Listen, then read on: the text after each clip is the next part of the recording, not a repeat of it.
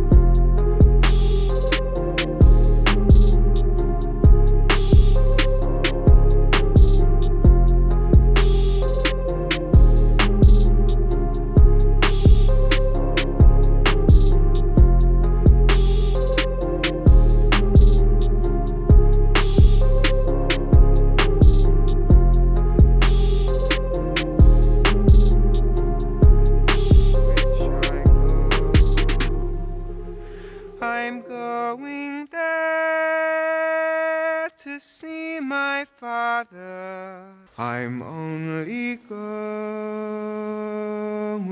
over home. Well, I gotta say, I absolutely love how this turned out to be.